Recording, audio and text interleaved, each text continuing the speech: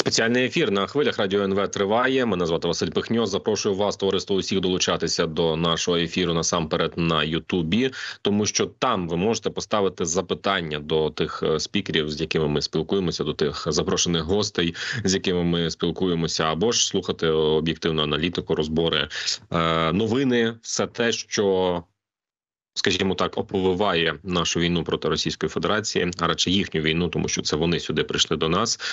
А ми захищаємося проти окупантів. І от в межах такого е, захисту е, гарна новина. Буквально зараз шириться згідно з джерелами українських медіа. Е, стосується ця новина нічної атаки е, сил оборони нашої держави по російському аеродрому Боріса Глєбськ. Це Воронецька область. Звідти злітають російські е, винищувачі бомбардувальники. Запускають запускаються е, злітають літаки, які власне здійснюють пуски кабів, і власне інфраструктуру цього аеродрому було атаковано. Є відео, їх небагато. Є кілька фото. Є підтвердження із е, супутників НАСА. Є такий сервіс, називається NASA Firms. Е, отже, вони показують на в онлайн режимі на мапі, показують ореоли спалахів пожеж. Назвімо це так, де де піднімається температура, там вони й демонструють.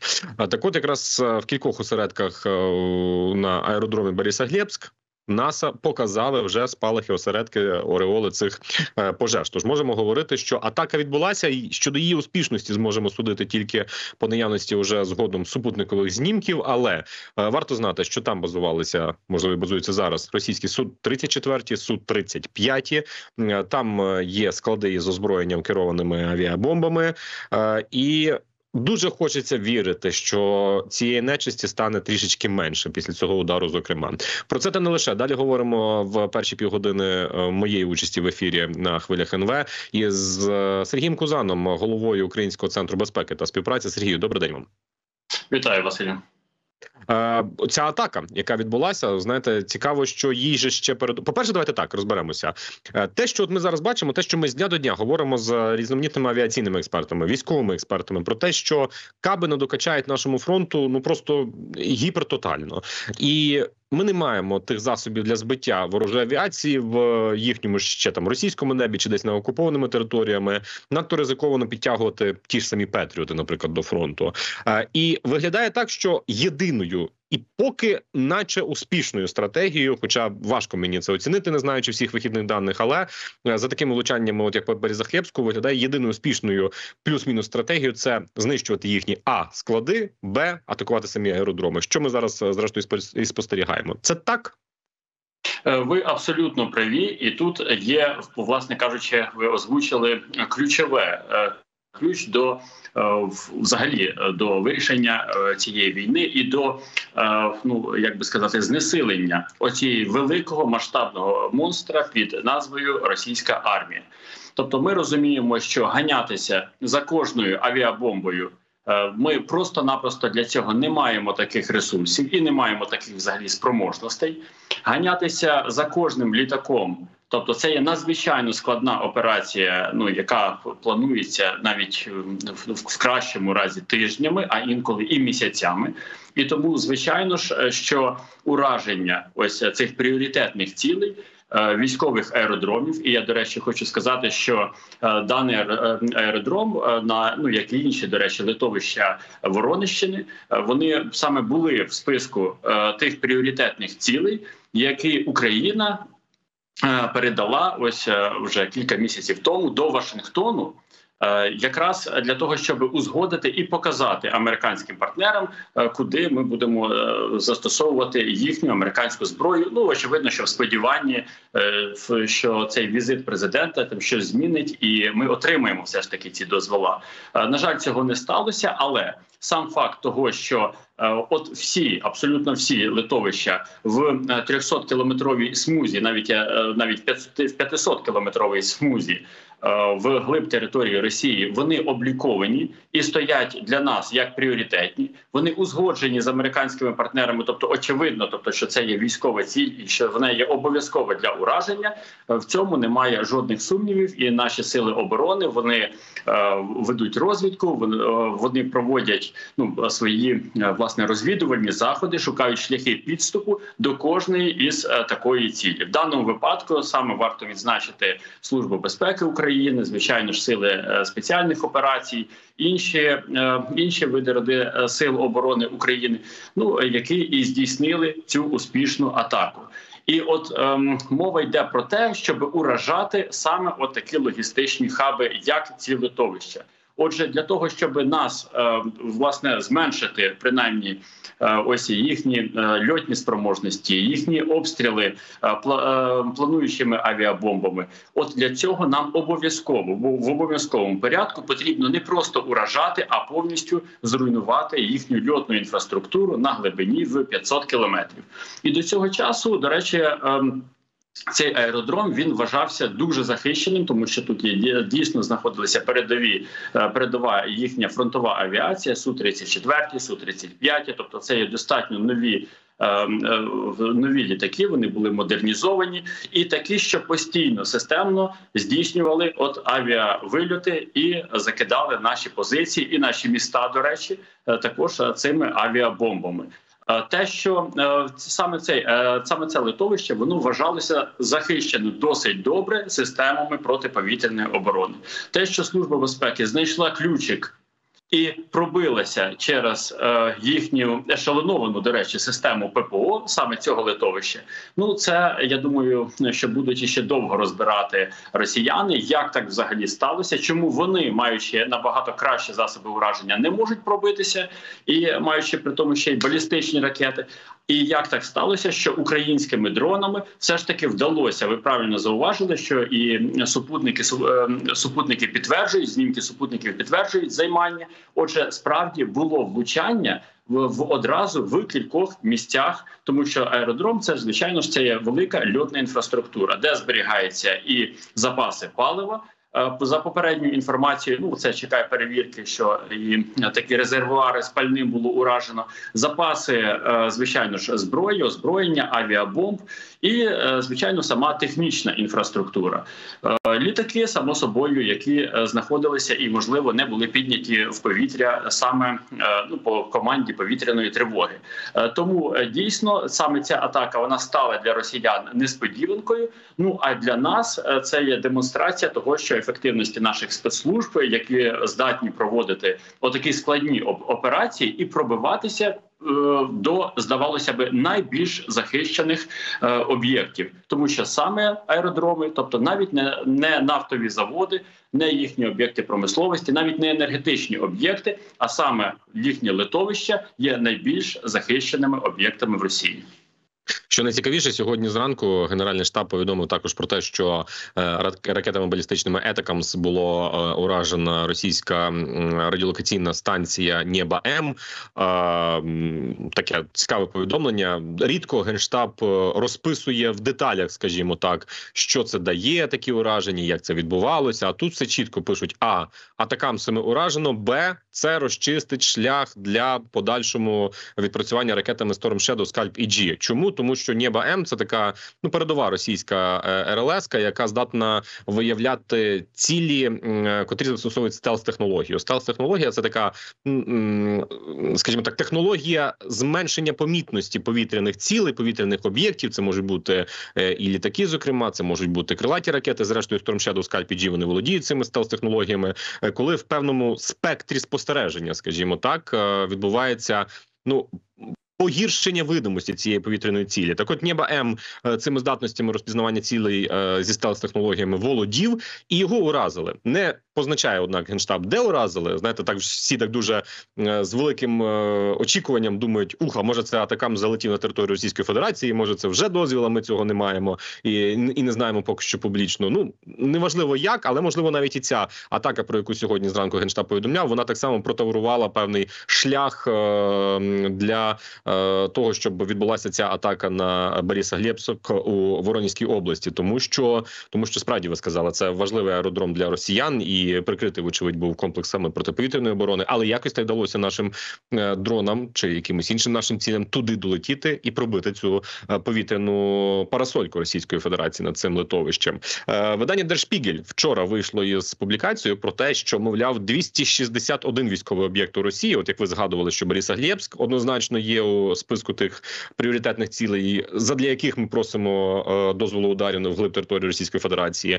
Ну Der Spiegel пише, що загалом 261 об'єкт в на території Російської Федерації в межах дії тих же ракет Storm Shadow Scalp G на 250 кілометрів дальності потраплятиме у радіус ураження. Тобто, це такі, ну знаєте, ця публікація в німецькому виданні. Мені видається, що це такий контрудар, контрвідповідь на всі ті наративи, які зараз поширюються в американських, зокрема ЗМІ, що мовляв, та не дуже то так уже і щось допоможе Україні. Ті дозволи на е, завдання ударів по Росії далекобійною далекобійною зброєю. Виходить, що допоможе. Е, Абсолютно, тут е, нам не потрібно е, якби перейматися внутріполітичною американською дискусією, і очевидно, що вони не хочуть десь зайвий раз втягнутися втя- втягуватися у нашу війну, ескалювати, подразнювати Путіна і тому подібні речі. Будь-яка зброя, очевидно, що допоможе. Не може 30 кілограм дрон із 30, 30 кілограмами бойового навантаження зрівнятися із е, крилатою ракетою, е, яка е, ну має в рази в 10 разів більше цього бойового навантаження, тобто по потужності, по кількості і звичайно ж по дальності ураження. Ну це нам потрібна обов'язково ракета, якщо ми хочемо симетрично відповідати росіянам. Тобто не секрет, що армія Російської Федерації вона збільшується, таких військових об'єктів збільшується кількість. Е, І для цього е, з одними лише дронами обійтися просто неможливо. Тому, звісно ж, е, нам ні, в якому разі не можна слухати ось ці мляві заяви американського держдепу, і нам, звісно, по- потрібно продовжувати наполягати. Тобто, це є абсолютно справедлива вимога отримати аналогічні. Спроможності до тих, які має Російська Федерація, і якщо росіяни мають ракету і вони можуть уражати наші об'єкти саме на цю глибину, значить, і ми повинні отримати від наших союзників аналогічну ракету або ж засоби для самостійного е, її виготовлення. Тобто, звісно ж, цей процес буде довгим, буде тривалим, але дуже добре е, те, що і в е, німецькій пресі ведеться така дискусія.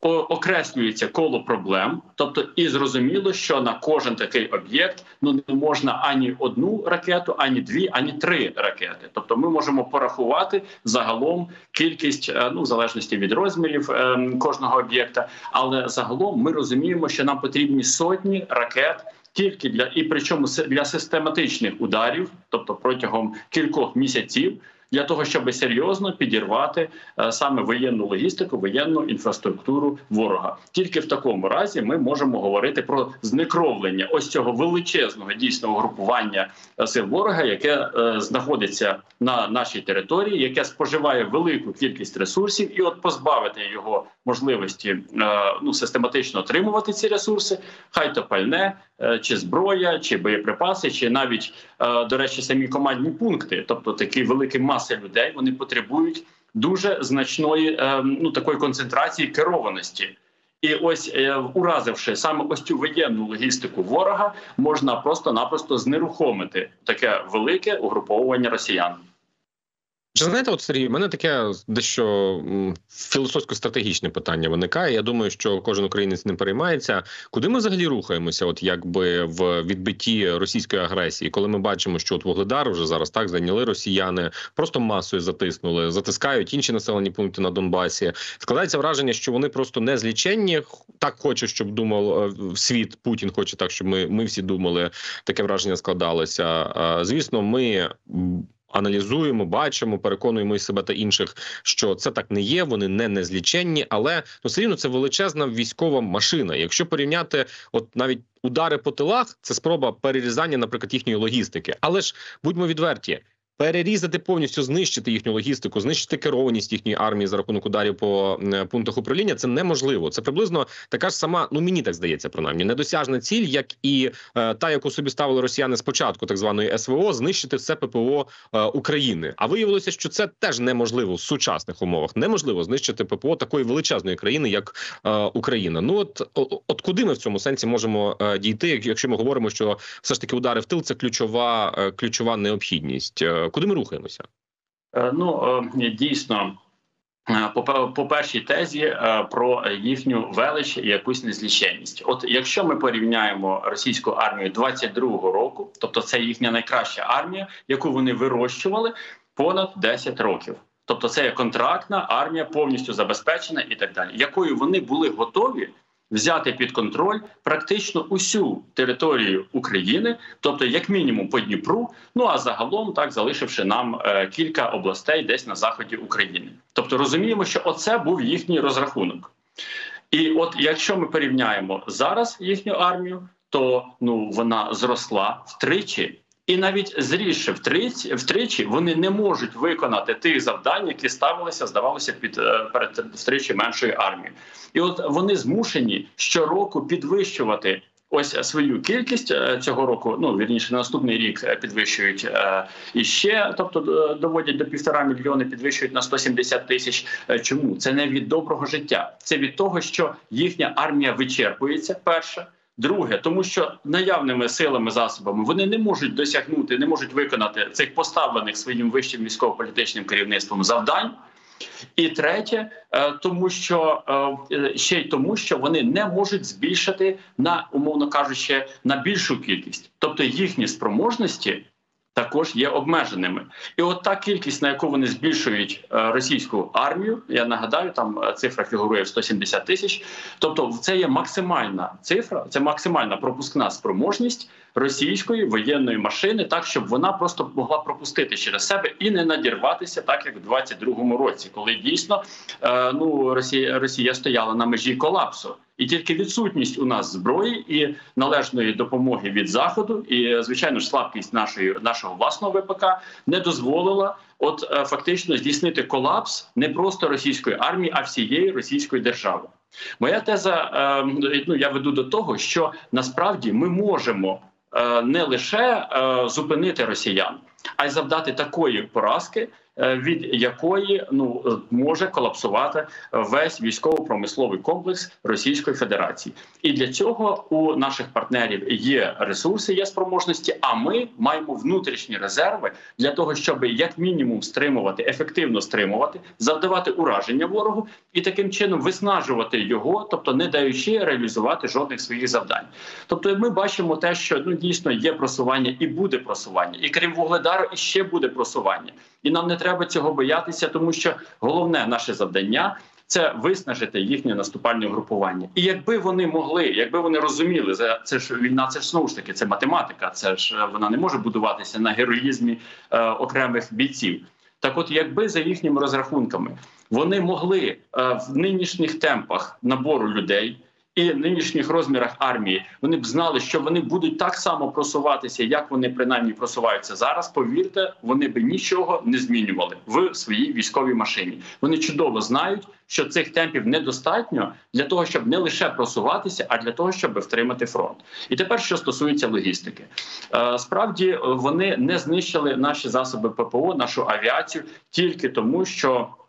Е, наша розвідка чудово працювала, е, спрацювали. Наші повітряні сили чудово спрацювали, і ми фактично переграли росіян. От їхні масовані ракетні удари не дали того ефекту, на який вони сподівалися, на який вони очікували. Зараз вже ситуація інша. Е, їхня армія велика потребує великої кількості е, самих складів, логістики, яких не можна не можна ці величезні резервуари з паливом або зі зброєю підняти в повітря і вберегти від потенційних атакамсів або штормшедов. Це чудово розуміють американці. Вони чудово розуміють, що ми проб'ємося через цю оборону, і що ми значно зменшимо їхні військові спроможності. От умовно кажучи, якщо ми воювали проти росіян із таким співвідношенням, і наш фронт просідав. Чому? Тому, що ми не мали зброї, в тому числі, і співвідношення було 1 до 8, 1 до 12, і ми втрачали наші території для того, щоб ну просто не розмінюватись е, нашими бійцями, тому що е, от ми або втрачаємо зброю, боєприпаси робиться витрата, або витрата людських життів або ж звичайно витрата території, як це не е, жорстоко звучить. Отже, ми жертвуємо територіями для того, щоб зменшити жертви е, наших бійців. Так, от, якщо ми е, зрівняємось в кількості застосованої зброї. То ми зможемо е, значно підвищити витрату е, в самих же росіян, і те, що в них е, те, що їхня сильна сторона, тобто велика армія, перетвориться на колос на глиняних ногах, і в даному випадку його е, глиняне підніжжя це саме його склади зі зброєю, його літаки з кабами, його е, резервуари із паливом. І от при ураженні їх можна реально знерухомити ось цю е, велику е, велику російську армію. А уразивши їхні командні пункти ми е, також е, дезорганізуємо, ну тобто погіршимо керованість цієї армії. От війни виграє логістика. Тобто, е, якщо бої виграють, умовно кажучи, генерали, підрозділи і так далі, то от саме війни тривалі може виграти лише лише логістика, лише того, в кого вона буде краще. А от понизивши її до мінімуму, до критичного мінімуму ми фактично понизимо е, боєздатність цілої російської армії. Ну і відповідно, що здатність до війни всієї російської держави. Мене одразу так, от е, слухаючи вашу відповідь, закралася думка, що дуже Вдало збігаються у часі ураження двох складів е, ГРАУ, які відбулися е, так. Скільки вже два тижні тому час швидко йде. Е, два склади ГРАУ і ще плюс торопець з його артилерійськими снарядами в Краснодарському краї. Відтак ці два склади, ось тоді якраз реальне за тим об'ємом е, озброєнь, яке було публічно так е, вважалося, що там 750 тисяч снарядів. Це приблизно ну хтось казав на 2-3 місяці. Мені здається, що тим з тим темпом застосування е, артилерії окупантами це якраз таки десь до місяця, три тижні. Я рахував, якщо на калькулятор кинути по 45 тисяч снарядів щодоби, як в серпні говорив наш головнокомандувач Сирський, що росіяни саме стільки використовують. Це приблизно виходить три тижні, і от цих три тижні збігаються прекрасно заяву заявою вчорашньою зробленою за міністра оборони Іваном Гаврилюком, котрий каже, що в окупантів значно зменшилося співвідношення кількості артилерії співвідносно до наших е, засобів. Один до трьох зараз раніше було один до восьми, один до трьох зараз. Тобто, це є видимим цим наслідком ударів глиб території Російської Федерації. Е, так, обов'язково, і окрім того, ми ж говоримо про різні е, види їхніх. Засобів ураження їхніх снарядів, е, і якщо ми подивимося, то е, ну виявилося е, ну принаймні на цей місяць. Виявилося, що вони активно застосовують шахеди, активно застосовують дрони, але при цьому пригадаємо, що вони обов'язково ну кожні два тижні, ну тобто обов'язково вони застосовували по кілька ракет. Тобто, ми бачимо, що також проблеми в них е, з усім, тобто не лише снарядами і реактивними, до речі, і до ствольної артилерії, але також і з їхніми ракетами. І мова йде про те, що вони сьогодні непропорційно Е, використовують шахеди до ракетного озброєння, і от їхня взагалі їхня тактика, і вона до речі була досить успішною в росіян. Тобто, коли вони висушували нашу систему ППО саме дронами, е, саме шахедами, і далі тут же прилітали балістичні ракети. А інколи також вони е, відправляли і крилаті ракети над над низькій висоті і обходили вже виявлені наші засоби ППО. Тобто, і дійсно ж були ці ураження. Так, от зараз вони змушені, тобто в них є звичайно ж є план. Вони розуміють, що їм потрібно прориватися і обвалювати нашу оборону, але при цьому вони дійсно не мають достатньо засобів ураження. Тобто, без сумніву, що ракетний обстріл буде, і їхнє виробництво є, і постачання з північної Кореї є. Але станом на вересень місяць вже можна сказати, що їхній такий стандартний алгоритм е, так би шахедно ракетного обстрілу був порушений. Ну що ж, е, гарні новини. Я сподіваюся, що в процесі і нашого ефіру, зокрема, е, згодом будуть з'являтися додаткові дані відомості. Е, хоча, чесно кажучи, десь надвечір, напевно, що справедливо буде казати про появу супутникових знімків щодо удару по аеродрому Бориса Глєбськ. Будемо сподіватися, що ми там побачимо приємні для нас картинки, а не буде якесь певне розчарування від накручування наших очікувань. Спокійно відбувається робота. Навіть ми бачимо, що ця робота відбувається попри е, страшенно червоні провадження лінії від Путіна і збільшення е, стратегії концепції застосування ядерної зброї Російської Федерації, де навіть от в хвилі останніх змін йшлося про те, що будь-який дрон, який залетить на територію Російської Федерації, вже підпадає на відповідь можливості Російської Федерації задавати ядерною зброєю ударів у відповідь. Ну як ми бачимо, якось так на такий важливий аеродром дрони залетіли і нуль. І так і буде. Е, Дякую вам, Сергію, що ви долучилися до нашого ефіру. Це був Сергій Кузан, голова Українського центру безпеки та співпраці. Підписуйся на канал Радіо НВ ось тут.